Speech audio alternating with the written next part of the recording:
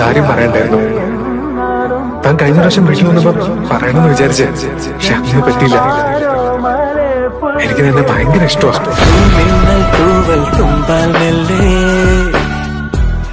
N പൂവൽ കനവിൽ തഴുകാൻ വരൂ.